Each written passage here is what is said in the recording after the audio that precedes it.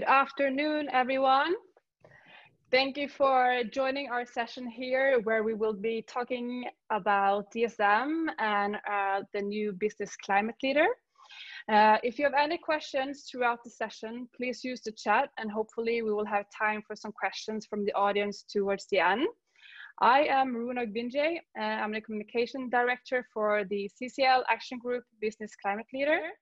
And I'm joined here uh, by Hugh Welsh, uh, the General Counsel, Secretary, and President of DSM North America. Welcome, Hugh. Uh, thank you. I think I look a little uh, different than my picture. I have some pandemic hair going on. um, Hugh, on behalf of CCL, uh, I would like to thank you for endorsing the ICDA, uh, for speaking with us today, and also for lobbying with us in the next week. how come climate action is important to you, Hugh? Well, I mean, it's extraordinarily important to me for, for a number of different reasons. Um, I mean, one is, and you may not know, the acronym DSM actually stands for Dutch State Mines. And our company started its history 100 years ago as a coal mining company. And I think because of that original sin, we're a little evangelical now on the issue of climate change. Um, but all kidding aside, I mean, uh, we, we know we have a responsibility to help mitigate the, um, the oncoming climate disaster uh, it's not just the right thing to do, it's, um, it's really good for our business as well. Yeah, thank you. Yeah, so so today DSM is really a science and innovation company creating game-changing innovation in nutrition and health uh, climate and energy and resource and, and circularity. So you basically invest in solution that enables, enables your customers to uh, live more sustainable. Uh, could you tell us about one of your products that you think are unique uh, and might be one of the solutions to climate change? Uh, sure. I mean, one is um, a product we call Bovaer, and it's its its real its real name within the company is called Clean Cow. It's a feed additive that we can we can feed to a cow to any other ruminant that redu- will reduce methane emissions in that animal by up to 60%. And most folks by now probably realize that burping cows are not a insignificant emitter of uh, greenhouse gases. And so if we just fed this um, this clean cow product to all of the ruminants around the world, we would we would make a significant impact on on climate change. Uh, we have a whole host of other products as well. We spend over a billion dollars a year in research and development and a lot of it's focused on areas where we can uh, we can help our customers improve their own climate footprint. So if these products are sold out in the US, we could still eat our beef with go uh, with good confidence, or you can enjoy your beef, your cheese, your milk, and knowing that the uh, the animals are happy and that the products they're producing are are done so with a much less intensive carbon footprint. Wow, that's amazing. So I encourage you all to, to go to dsm.com to read more about the amazing innovation products. It's a true joy and it gives you hope for the future. Uh, but back to your uh, climate initiatives. So your business strategy is aligned with five of the UN uh, sustainability goals. You have a target of being net zero by 2050. Uh, your targets are validated by the Science Based Target Initiative and aligned with the Paris Agreement. Just to mention some, and, and, and I must say your climate initiatives are really comprehensive and by the book. Uh, so can you just describe a little bit why you decide to transform from mining to the company you are today? What, what happens? I mean, if you just think of it in, in, in sort of a corporate Darwinist sense, if we, had we stayed a coal mining company, we would have gone extinct. Um, we, we evolved from a coal mining company into a petrochemical company. Had we stayed a petrochemical company, we'd have gone extinct. And so ours is a journey of continuous adaptation and evolution to meet the sort of changing needs of the world. And if you had to look somewhere for what is the world's business plan, it would be the sustainable development goals. So yep. to the extent that we can align our portfolio of companies with the sustainable development goals, I think we're going to survive for another 100 years. Oh, that's amazing. So, so, but uh, like going, um, uh, moving to the EICDA. so, so typically companies are against tax and fees uh, that, uh, that will or might affect their bottom line. So can you just describe a little bit the internal discussion at DSM when deciding whether or not to, to, to lob for a, a price on carbon? And will also the, um, uh, the act uh, um, affect your bottom line in any way? Yeah, no, it's a very easy conversation within DSM because we've had an internal yep. price on carbon for a number of years now. So we have a, a 50 euro a, a, ton internal price on carbon that's applied to every large capital project we have, every big mergers and acquisition deal we do. We just we just signed up a new deal yesterday, so a billion dollar deal. So you can imagine that that's not an insignificant internal price on carbon.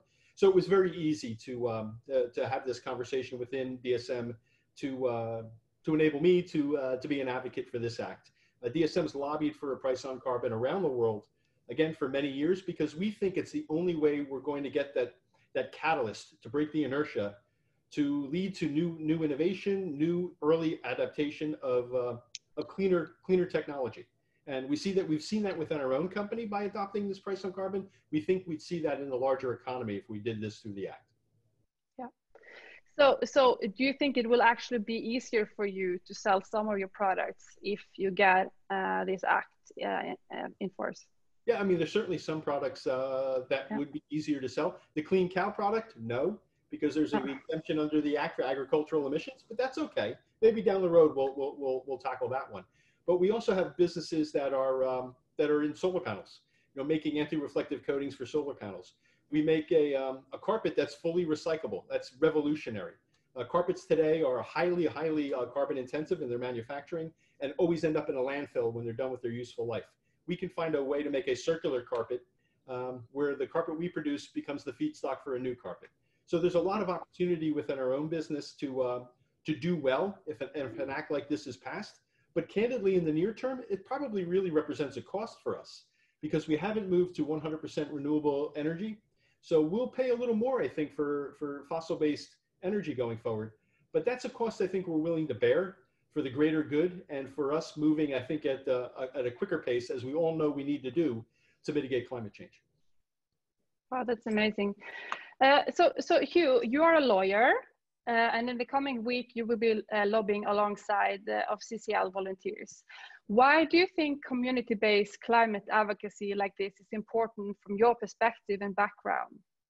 Yeah, I mean, I think that our, our elected officials need to hear from that the whole um, holistic constituency of the population that they serve. So they need to hear from from the individuals, they need to hear from the NGOs, they need, and they also need to hear from the companies.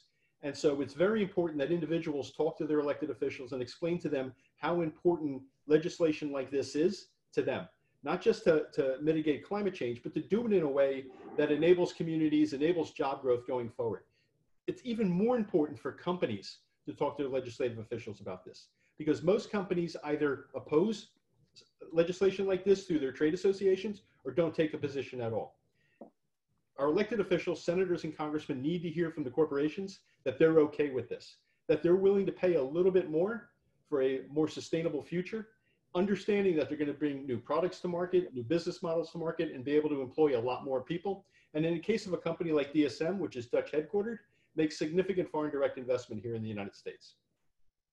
Oh, that's amazing. Uh, uh, what is your expectation of the sessions?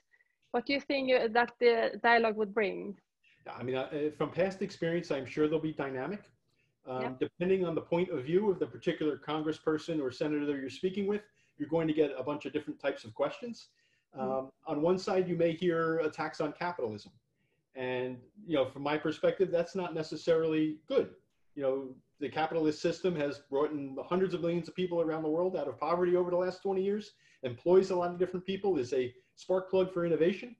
Um, on the other side of the aisle, you may hear a lot of, uh, a lot of argument that more regulation is not helpful and that ultimately this could uh, could create be have an anti-competitive effect on U.S. businesses. So you need to be prepared to answer both sides of the aisle. Yeah. Uh, on the Republican, on the Harton Republican side, it's really more around having um, border adjustment tax so that we're not putting any U.S. companies at a competitive disadvantage. On the other side of the aisle is, hey, look, we're not going to use climate change as a proxy war in capitalism, and uh, and we'll see where we come out in the end. Yeah. Have you been Have you been lobbying for climate legislation before in your career? Uh, uh, yes, I spend a fair amount of time doing that. Really, um, I think with, with more intensity over the last 10 years. As yeah. it's become a, a, more fertile environment, I think, in, in, in Washington to have this kind of conversation, not just with one small subset of elected officials, but today you see the, things like the bipartisan climate caucus. Um, you would have never seen anything like that uh, even five years ago. So I'm, I'm, I'm more encouraged today than I've ever been. That's good news. Thank you. Um, so we are in the middle of a pandemic and global protest against systematic racism and police violence. Does climate change seems like an important issue to address right now? You think? Oh, absolutely. Uh, you know, I, when we look at the the issue of the pandemic, and uh, first of all, I mean, for me, that's a bit of a test case on what yeah. the climate emergency might look like. And I candidly was kind of encouraged that, uh, in some respects, that communities were able to pull together to address the pandemic. And at the same time, I was a little discouraged because nations really didn't pull together to address the pandemic. And we're going to need global action if we're going to make any material impact on, on, on climate change going forward. Um, the social unrest in the country has, uh, has been um, heartbreaking. Uh, the underlying uh, cause of systemic racism has to be addressed in this country. I'm hoping that the, the unfortunate events of the last couple of weeks, couple of months, you know, candidly years, um, can serve as catalyst for meaningful change. But it also shows that when there is a, an issue that the people all agree on, and I think climate change is, is, is very similar, they'll take to the streets and they'll demand action to see change.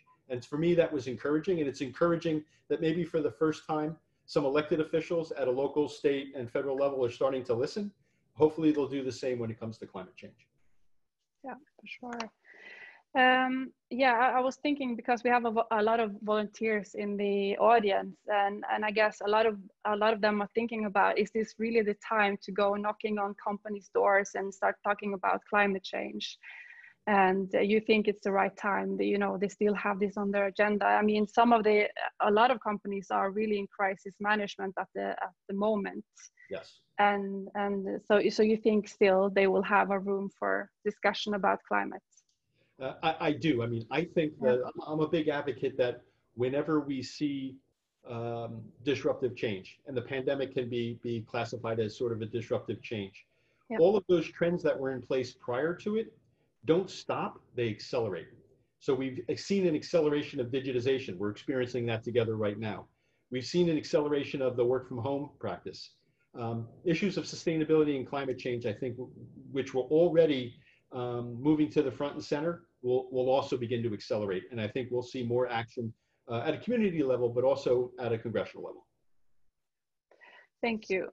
So, uh, so if we think about our uh, volunteers in the audience uh, and they're working uh, to find new companies to endorse the act, what do you think are the best arguments for, you know, supporting the ICDA and a price of carbon? What should be their sales pitch when they talk to companies? Um, that if you want to be a company like DSM that was a coal mining company and has has survived and not only survived, thrived over the course of more than a century, um, this might be might be the type of legislation you want to to endorse. It's um, it's certainly good for the climate.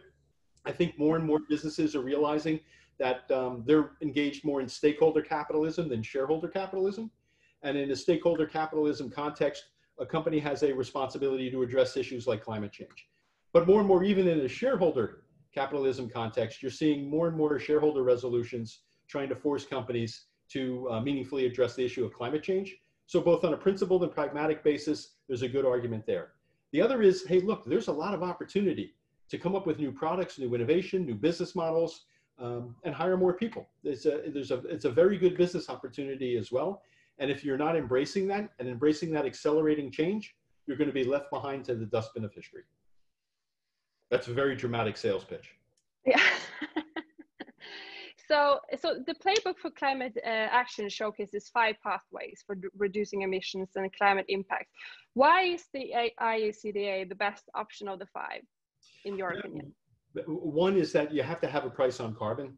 That is that levels the competitive playing field.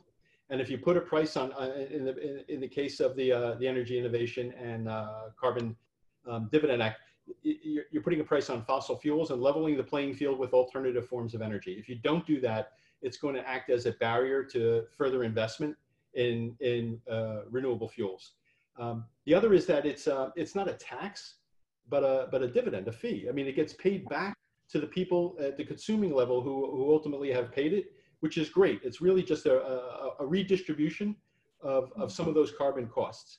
Um, it'll, it'll certainly reduce healthcare costs in the United States. It'll have a meaningful impact on the health of tens of thousands, if not hundreds of thousands of people. And it'll create jobs in this country, good jobs, high paying jobs. Um, you mentioned in your introduction that there are more folks working today in renewable energy than there are in fossil fuels. Let's, let's continue to expand that. Those jobs can't be outsourced overseas. And so I think it, it addresses a lot of the issues, both uh, principled ones and again, pragmatic ones that, um, that should be an easy sell. I don't know why this hasn't been signed into law yet. Thank you, Hugh. Uh, Ben, do we have any questions uh, from the audience? I have one so far. You, as a as a European company, how do you see carbon pricing implementation in Europe um, really impact uh, lawmaking in the United States, and and how does it impact uh, how you're thinking about your business model going forward? Yeah, I mean, the Europeans have a bit of a cap and trade system, which, um, which presents some challenges in administration.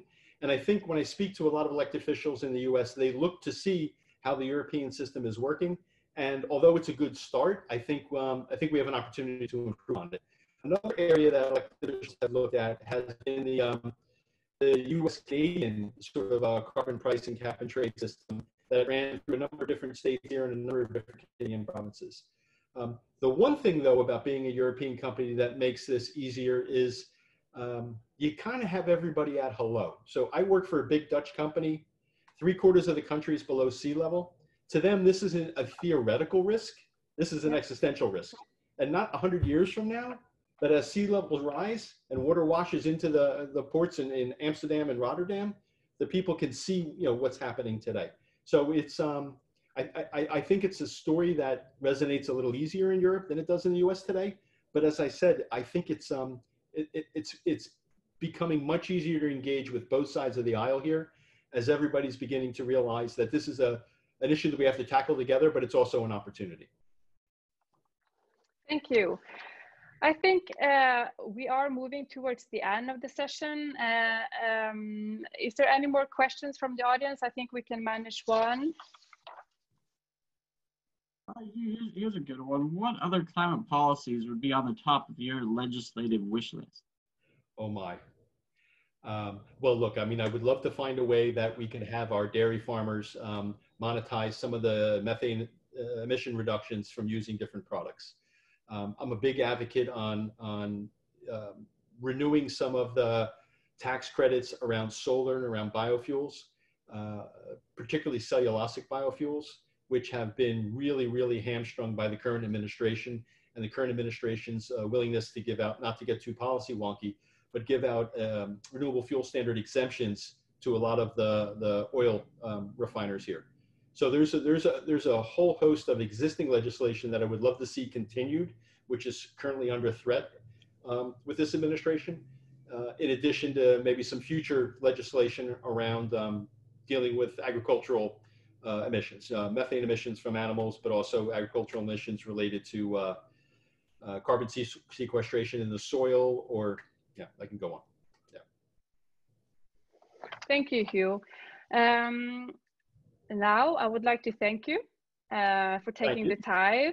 For I look forward to lobbying with a lot of you next week. Yeah, that's amazing. Uh, on a final note and a less formal note, DSM stands for doing something meaningful, as you said. Uh, and by lobbying for a price on carbon, you're really doing something meaningful on top of everything else that you do. Uh, companies are extremely important in the US climate advocacy, and members and Congress respect the voices of business, as you say. Uh, so, behalf of the CCL and the CCL Action Team, Business Climate Leaders, thank you. But also, thank you to all of the volunteers in the audience. Without you, we would not have been here today. Uh, and if you want to work with companies, please reach out to the Business Climate Leaders, and we will help you get going. Uh, take care of yourself uh, and stay safe and healthy. Thank you, Hugh. Thank you all. Have a great day.